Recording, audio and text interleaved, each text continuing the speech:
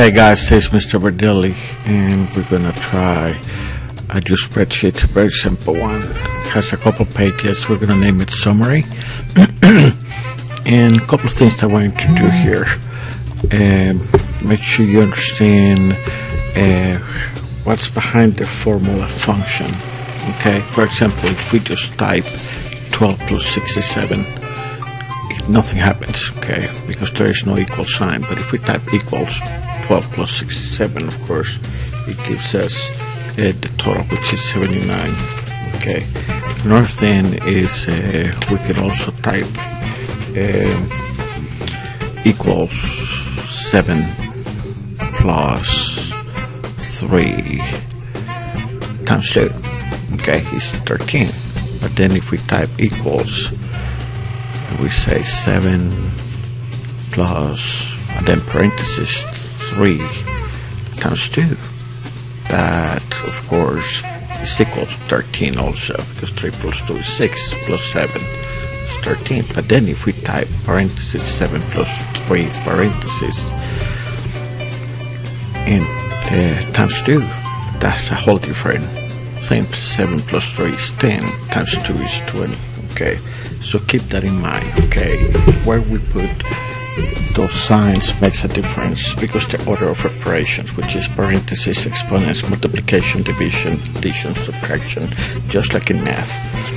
Okay I want to show you something else here. If I type sum then I highlight all four numbers. Okay gives me the total. Okay of course we learned that but I'm gonna enter some random data here just other ways to use sum that I want you to to understand because you're gonna be using this today.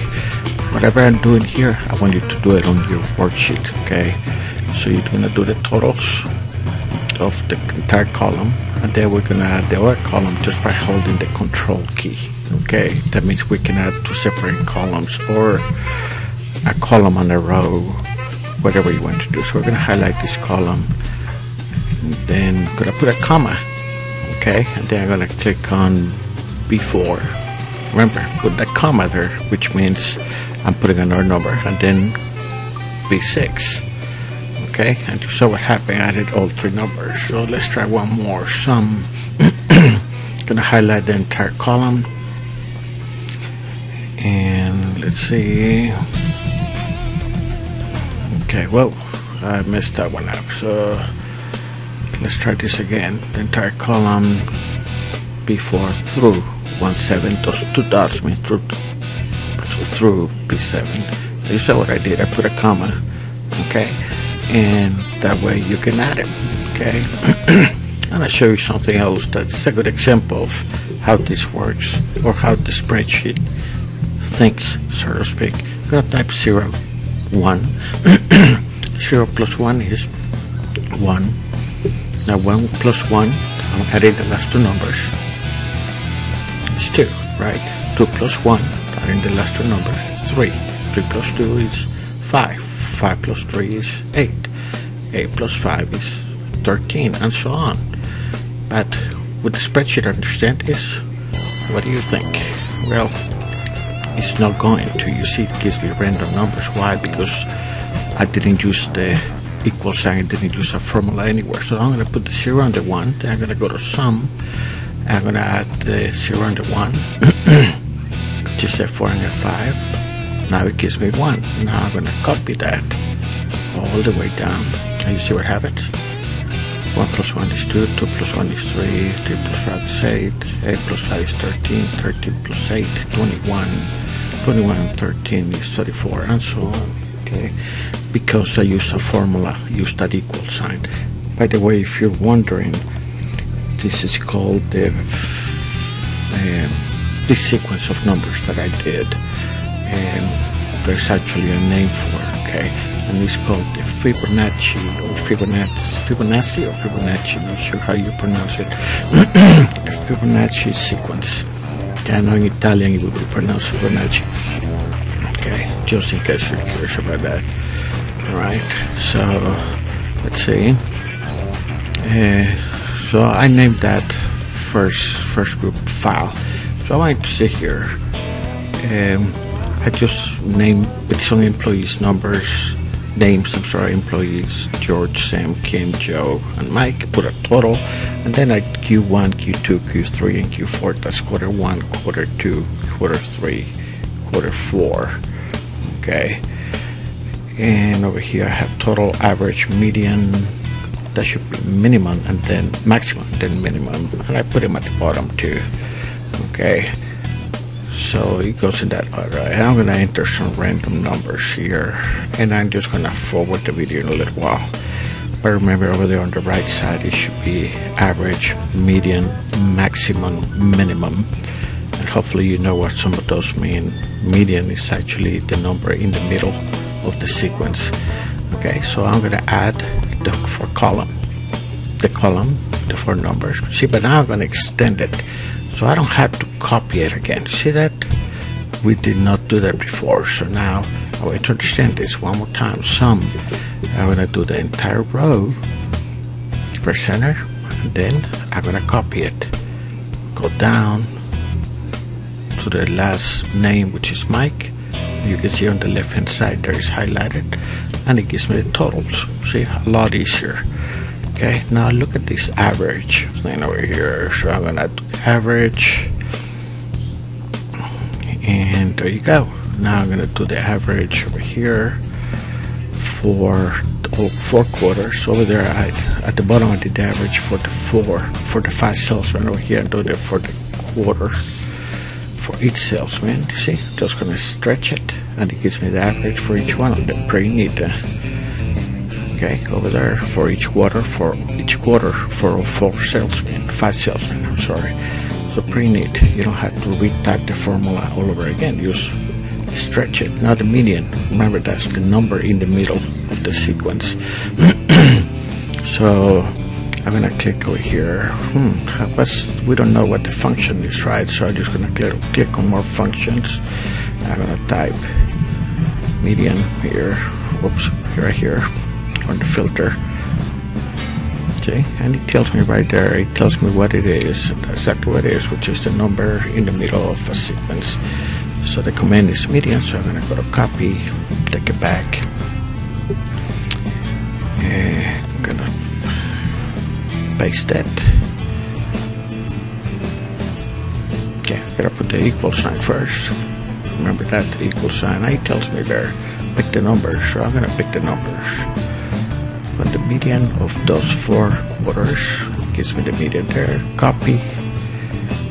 Paste it. Through all five salesmen. And I get the number. I'm gonna go over here I'm gonna do it for the entire quarter. Remember the rows are the quarters the columns are the salesmen okay I'm gonna stretch it. Oops okay there you go. And now I'm gonna do the maximum which is the highest number or the minimum. Well you see how that's messed up over there I'm gonna fix that in a second. This is minimum we should say maximum. Okay so max the command is max I'm gonna pick all four quarters see that very simple now I'm gonna stretch it there you go now do the same over here for all five salesmen. Again, the column is the salesman. The row is the quarters. So you see that? I got the maximum, now I'm gonna get the minimum, which is the smallest number of the four quarters for each salesman. Okay, so let's say minimum, min, which is the command, and it gives me a total copy it. I'm gonna go over here to the bottom. I'm gonna add all five salesmen, pick the minimum, and there you go. Copy and paste it. Pretty neat. Pretty easy. How much faster it is. Now I'm gonna highlight these numbers over here. What do you think you're gonna do with them? Yep, got turn them into dollar amounts with two decimals. Okay, now I'm gonna highlight all of these things up top and I'm gonna go to insert row below see that we left a space between the numbers and the very top where it says employee Q1 Q2 I'm gonna center them See that? Very important to make it look better. Okay, so let's do that over here too. Okay, I'm gonna center them. Watch how I go.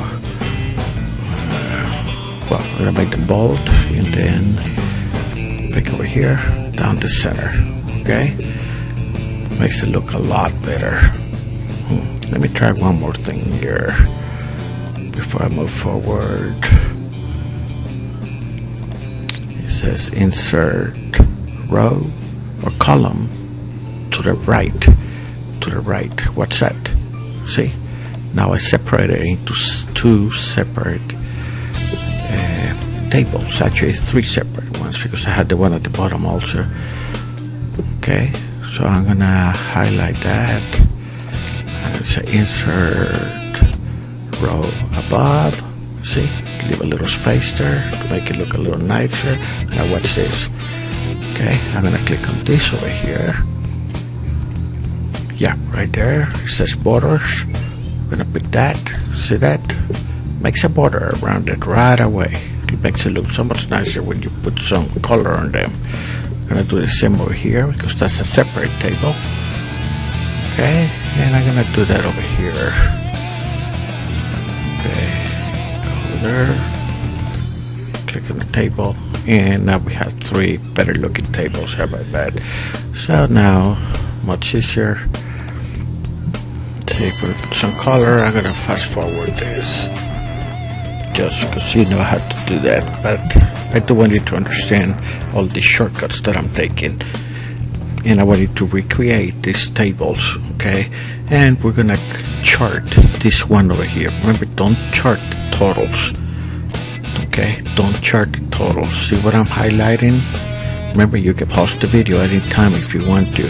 By the way, the sum sign where the formulas are, and anybody knows what that sign is called? The one where the formulas are. See, we're gonna use this chart right there.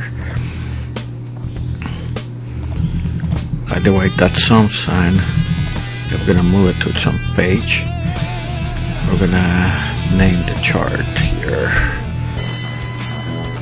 That sum sign is called sigma. Okay, it's a Greek sign. It's called sigma. We're gonna call this chart individual cells.